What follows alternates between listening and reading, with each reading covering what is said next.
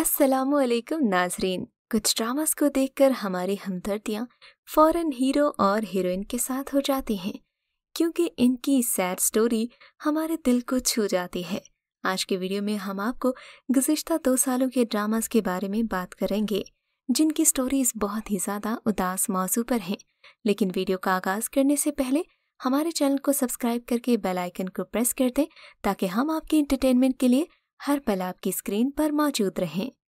Drama serial Nand. Nand drama अपने आगाज़ से ही नाजरीन की तवज्जो हासिल करने में कामयाब रहा। ड्रामे की सैर थीम नंद भाभी के रिवायती रिश्ते पर मबनी है। मगर इसके बावजूद ये साल 2020 के ज़्यादा रेटिंग्स हासिल करने वाले ड्रामों में शामिल रहा। ड्रामे की बुनियादी कशिश फायजा हसन है जिन्होंने गौहर का किरदार बड़ी खूबसूरती से अदा किया है। नाजरीन ने न सिर्फ़ इनकी अदाकारी, बल्कि इनके स्टाइल को भी बेहद पसंद किया। बालों के बैंस तो बेहद कमाल के होते थे। ड्रामे की कहानी एक ऐसी नंद के गिर्द घूमती थी, जो भाइयों की ज़िंदगी में बेजा मुदाखलत की शौकीन थी। इसकी इसी मुदाखलत और साजिशों की वजह से इसके भाइयों का घर टूट गया। फायजा हसन, जिसने मनफी किरदार को इस हद तक बेहतर अंदाज में अदा किया कि ये लोगों का पसंदीदा बन गया ड्रामे की कास्ट में मिनाल खान शहरो सब्जवारी, एजाज असलम फायजा हसन नया सोमो, टीपू शरीफ, सुम्बल अंसारी, जवेरिया सऊद, महविश कुरैशी और दीगर अदाकार शामिल हैं। ड्रामे की कहानी समीना एजाज ने लिखी है। ड्रामा प्यार के सदके ने नाजरीन के दिलों में जगह बनाई। उनके हर किरदार ने जानदार अदाकारी और ज़बरदस्त कहानी की वजह से दाद समेटी। लेकिन अगर इसकी कहानी पर नज़र दौड़ाई जाए तो ये सैड और उदास कर देने वाली कहानी है।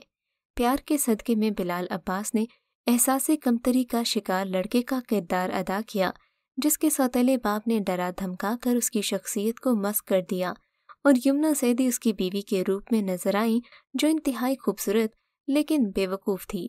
उसका सौतेला ससर ही उससे शादी का ख्वाहिशमंद होता है और बाद अजा अपने अंजाम को पहुँचता है। ड्रामे में अदाकारा अतीका ओढ़ो ने एक दौलतमंद खातून का किरदार अदा किया, जिसने बेवा होने के बाइस खुद से कम उम्र मर्द उमेर राना से शादी की, जो असल में उनकी दौलत की वजह से उनसे शादी करना चाहता है।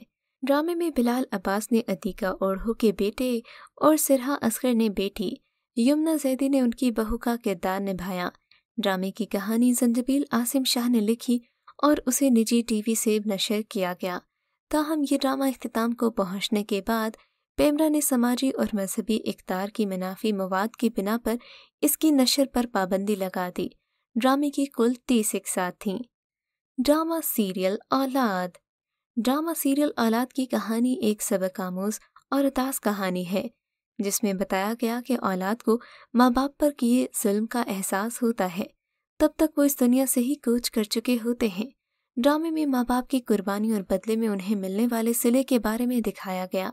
ड्रामे की कहानी हकीकत के करीब तर होने की वजह से लोगों को बहुत पसंद आई। ड्रामा औलाद की हिदायतकारी के फ़राइज आबिस रजा ने अंजाम दिए।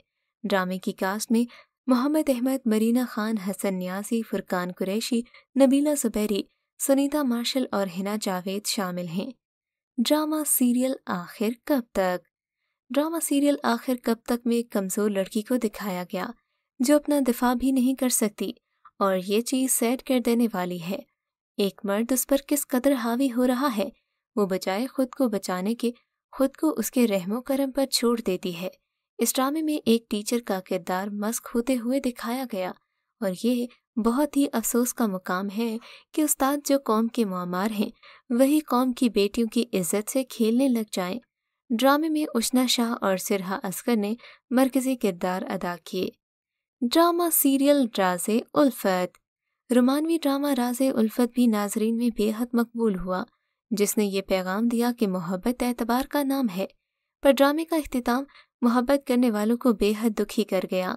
ड्रामे में यमुना जैदी ने मुश्क का मरकजी किरदार अदा किया और शहजाद शेख ने उसकी मोहब्बत, इर्तज़ा जबकि गौहर रशीद यमुना के शहर इस्माइल के किरदार, कोमल अज़ीज़ खान यमुना की दोस्त और बाद अजा धोखेबाज दोस्त सहबा के तौर पर नज़र आई। राज उल्फत की कहानी मुश्क के गिर्द घूमती है, जो अपने वालदेन के उसूलों के मुताबिक ज़िंदगी गुजारती है। लेकिन बाद अजान तालीम के हसूल के दौरान वो अपनी दोस्त सहबा के मॉडर्न लाइफस्टाइल से मुतासर होती है। ड्रामे में दिखाया गया कि सहबा और मुश्क दोनों ही इर्तज़ा को पसंद करती हैं और इर्तज़ा मुश्क की मोहब्बत में मुब्तला होता है, लेकिन सहबा की चाल में फंसकर मुश्क की मोहब्बत को ठुकरा देता है, जिसके बाद उसकी शादी इस्माइल से हो जाती है। ड्रामे के अख्ताम पर सहबा की हकीकत सामने आने पर इर्तज़ा मुश्क का मंतज़र होता है लेकिन वो इस्माइल का इंतखब करती है। ये ड्रामा अड़तीस इकसात पर मुश्तमिल था और इसकी कहानी माह मलिक ने तहरीर की है। यूँ तो ये ड्रामा सीरियल बहुत ज़्यादा पसंद किया गया, लेकिन गौहर रशीद को यमुना का शोहर दिखाने पर नाजरीन यही सवाल करते दिखाई दिए गए कि अक्सर ड्रामों में मोहब्बत में नाकामी करने वाली लड़कियों के शोहर के तौर पर उन्हें ही क्यों चुना जाता है? ड्रामा सीरियल मुकद्दर एक और ड्रामा सीरियल मुकद्दर उदास कर देने वाली कहानी है। फैसल कुरैशी ने ड्रामे में एक जागीरदार का मनफी किरदार अदा किया, जिसमें वो मदीहा इमाम के मद मुकाबिल दिखाई दिए। फैसल कुरैशी ने ड्रामे में एक जागीरदार का मनफी किरदार अदा किया, जिसमें वो मदीहा इमाम के मद मुकाबिल दिखाई दिए। मुकदर की कहानी जागीरदार सैफुर रहमान यानी के फैसल कुरैशी को एक आरजे यानी के मदीहा इमाम से पहली नज़र में मोहब्बत हो जाती है, जो पहले से किसी और की मंगेतर होती है। जल्द ही उसकी शादी अपने मामूजाद हारिस से होने वाली होती है, लेकिन सैफुर रहमान रायमा को अगवा करके उससे ज़बरदस्ती निकाह करता है और उसे अपनी हवेली की बीबी सरकार का दर्जा देता है। ताहम ड्रामे में फैसल कुरैशी की मौत, उसके बाद रायमा को उससे मोहब्बत में तनहा ज़िंदगी गुजारते दिखाया गया। ड्रामे की मकबूलियत की वजह बुनियादी तौर पर फैसल कुरैशी की अदाकारी बनी, लेकिन ज़बरदस्ती निकाह और आखिर में मरकजी किरदार की मौत ने नाजरीन को मायूस भी किया। ड्रामे की कहानी इकबाल बानो ने तहरीर की, जो अड़तीस इकसात पर मुश्तमिल थी। ड्रामा सीरियल परदेस। आजकल ए आर वाई पर चलने वाला ड्रामा सीरियल परदेस इस कदर उदास और दुखी कर देने वाला है, जिसे देखकर यकीनन हर किसी के आँसू निकल रहे होंगे। जुबैदा यानी कि शाइस्ता लोधी की बेटी का किरदार एक ऐसी औरत का है, जिसका शहर बाहर कमाने की गर्ज से है। वो ससुराल वालों के जुल्म सितम का शिकार है। उसकी बच्ची का किरदार जिस चाइल्ड स्टार ने अदा किया है, उसकी कमाल अदाकारी देखने के काबिल है। माँ बेचारी सारा दिन घर के काम करती है। वो चार साल बच्ची पढ़ती भी है और अपने तीन माह के भाई को संभालती है। उसे फीडर पिलाती है और थोड़ी थोड़ी देर बाद माँ को किचन में जाकर रिपोर्ट भी देती है कि सब अच्छा है। लेकिन जब उसका भाई गिरता है, किस कदर खौफसदा होता है ये लम्हा? वाकई, व्यूअर्स की जान निकालने वाला होता है।